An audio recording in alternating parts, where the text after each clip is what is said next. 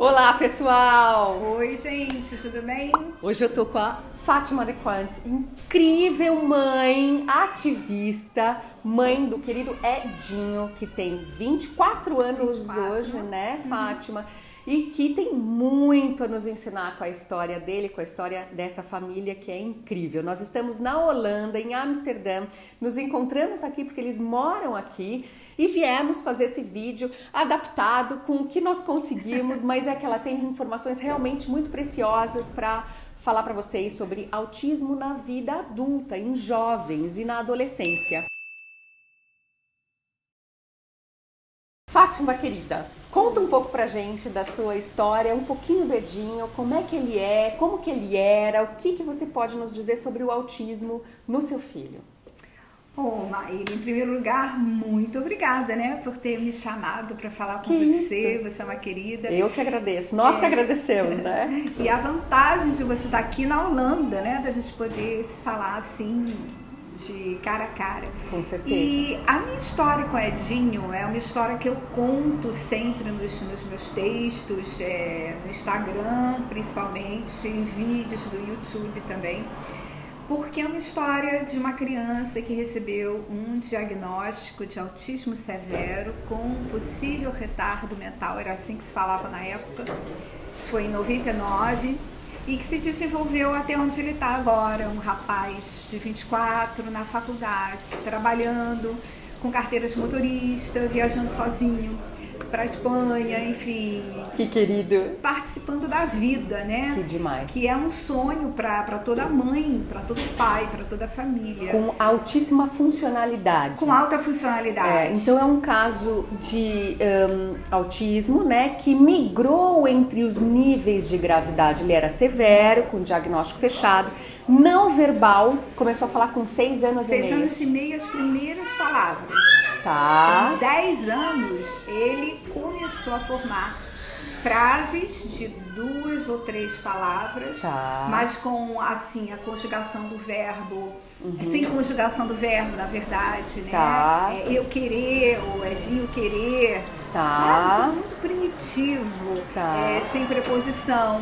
Então, a linguagem dele, ele mesmo diz hoje em dia que foi artesanal, foi aprendida no dia a dia até ele falar holandês, como ele fala hoje, e o inglês, né? Que aqui todo mundo tem que saber falar inglês. Então é bilíngue é, hoje, bilíngue. né? E traz muito pra gente uh, sobre a, a, história deles traz muito pra gente sobre o modelo ideal de cuidado e de tratamento. Porque o Edinho Com teve certeza. a sorte de ter um diagnóstico precoce. Uhum de ter intervenção intensiva, intensiva. desde muito pequeno Com e de ter pais altamente conectados, capacitados, que correram atrás. Imagina há 25 anos atrás que a gente não tinha internet, a gente não tinha cursos online, a gente não tinha vídeos, a gente não tinha essa facilidade que é hoje. Como é que você fez, Fátima? Olha, é, é, muito difícil explicar 25, quase 25 anos, né, em tão pouco tempo. Sim. Mas basicamente foi, você resumiu muito bem. A gente conseguiu o diagnóstico e partiu logo para busca das terapias uhum. com o que a gente tinha no momento, uhum. que era pesquisa na biblioteca, é, buscar nos hospitais pelos melhores especialistas, neurologistas, psiquiatras é, participar de, de, todos os eventos que haviam de autismo, e eram poucos na minha época. Uhum. Então, correr atrás, nós pais tivemos que correr atrás.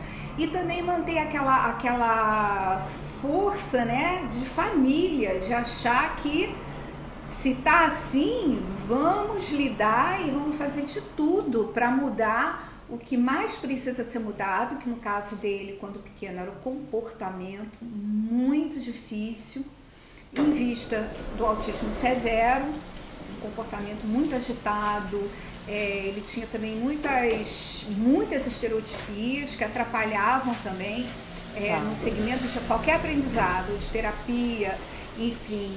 Então foi preciso muita dedicação, muito tempo, em termos de horas mesmo, com eles, nas terapias. E como mãe, eu aprendendo com os terapeutas para usar em casa porque é uma coisa que eu sempre falo para as mães que me perguntam. é muito difícil conseguir tudo só na terapia, né, Maíra? Com certeza. E você sabe disso, você está uhum. fazendo um trabalho tão bacana com os pais e mães uhum. é, em todos esses cursos para é. fazer com que desperte aquela vontade e confiança, né, de fazer em casa para dar certo. É.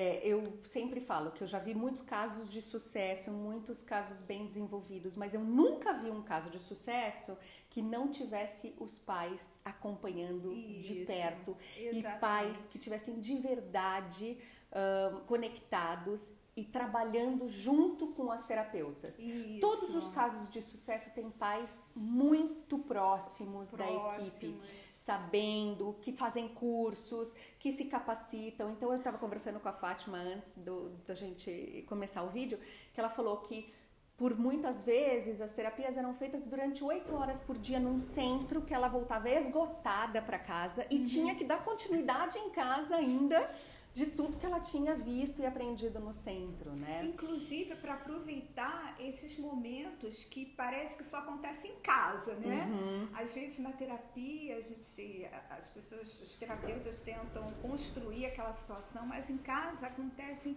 tantas oportunidades para nos é, trabalhar com os nossos filhos. E se a gente descobrir isso com é. os terapeutas, enriquece é. demais esse processo de desenvolvimento. Tá, vamos só falar isso. Se a gente descobre isso por causa do avião e da ah, porta. Tá. Que isso não, não pegou com certeza no áudio. Fala de novo essa última parte.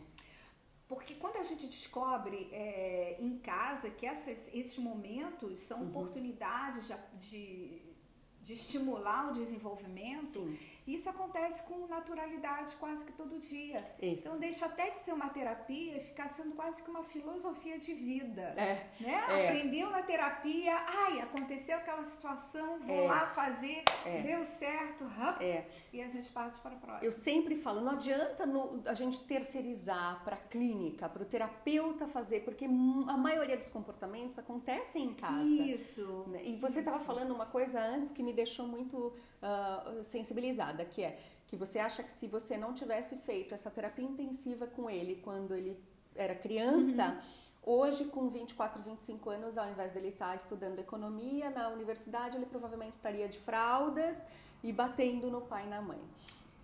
Eu acho. que se a é, gente é, é muito, deixa, é né? muito triste a gente pensar ou falar uma coisa dessas, né, Maíra? Mas eu tenho a sensação de que se eu não tivesse tivesse feito nada, se houvesse só o amor, porque o amor é o principal, o amor tem que ter de qualquer maneira. É. Mas se fosse só isso, se não tivesse as ferramentas, as estratégias que eu aprendi, né, com os terapeutas, com tudo que a gente fez, eu acho que ia ser muito difícil. E quando hoje em dia, acho que foi essa parte que você referiu do nosso papo, Hoje em dia, quando algumas mães me falam Sim. que os filhos estão adultos, Sim. mas ainda estão usando fralda, ou ainda estão é, passando fezes né, na parede, como Edinho fez numa certa fase da vida dele infantil. Sim. Eu fico pensando, imagina se fosse isso com ele agora, se eu não tivesse feito nada. É. A gente tem que intervir, a gente tem que fazer uso das intervenções de alguma forma. É. E de modo intensivo, porque o autismo não é algo que a gente faça uma vez e pronto, acabou. É, é. Não é, Maíra? É todo gente, dia. É que, todo dia. É, a palavra-chave, o segredo é a uhum. consistência. Consistência. Porque vai dar errado, em algum dia a gente vai estar tá cansada, mas se insistir todos os dias. E mesmo é. que seu filho já esteja maior e esteja com esses comportamentos, ainda dá para fazer muita coisa, né, dá, Fátima? Ainda sim. dá para mudar comportamento. Dá mesmo porque, eu já escrevi também sobre isso, as fases mentais dos autistas, elas se entrelaçam muito. Por isso que o autismo é tão é, misterioso, até para quem estuda o, o é. autismo, porque é. a gente vê e eu trabalho com autistas adultos, né, nível 1, e às vezes a gente vê um comportamento bem mais infantil né, uhum. do que a uhum. idade cronológica. Esse é. tipo de, de é,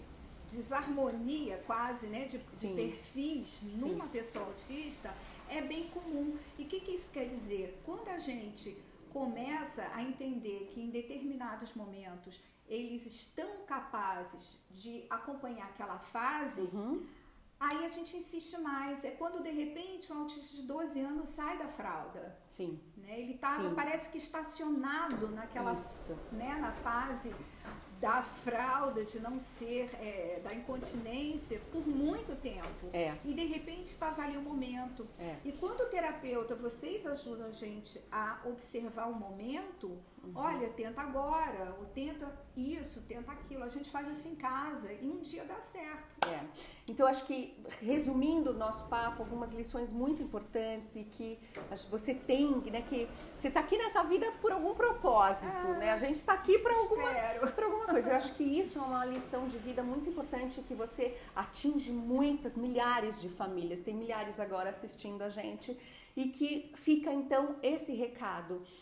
Acreditem, sempre nos seus filhos, junta aí forças com a família, intervenção precoce, terapia, muita terapia comportamental, pais capacitados, pais junto com a criança, fazendo horas e horas por dia. A gente sabe quanto é cansativo, a gente sabe o quanto é puxado, mas vale a pena, né, Fátima? Vale muito a pena. E eu diria também, é um trabalho de equipe, né, Maíra? E equipe eu incluo pais nesse Isso! time. Pais e mães, terapeutas e, de preferência, a escola que É. a criança também É. é, frequenta, porque essa, essa trindade vai É. fazer, vai trazer muita estrutura e tranquilidade para a criança autista, saber que em todos em todos esses segmentos ela está sendo recebida de uma maneira consistente, de uma maneira coerente. E isso vai facilitar que ela queira aprender. Eu acho que foi o que aconteceu com o Edinho.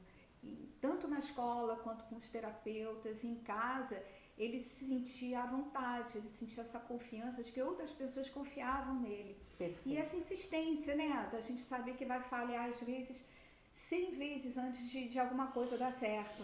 É. E seguir em frente. Isso. E a Fátima hoje é coaching de autistas adultos. Isso. Ela tem muitas coisas para nos ensinar e ela vai fazer um próximo vídeo agora conosco sobre as técnicas usadas para crianças, para adultos, Adulto. desculpa, adultos leves e leves mo- Moderados, moderados, né, leves. moderados leves. Técnicas para melhorar a funcionalidade, a autonomia, a habilidade social. Então fica com a gente. Se você acha esse vídeo importante, dá um joinha e se inscreve no canal para receber o aviso, ativa o sininho para receber o aviso desse nosso próximo vídeo que nós Isso. vamos gravar agora. Vamos. Topa? Top. Obrigada. Fátima. Um beijo, pessoal. Até o Tchau, próximo gente. vídeo.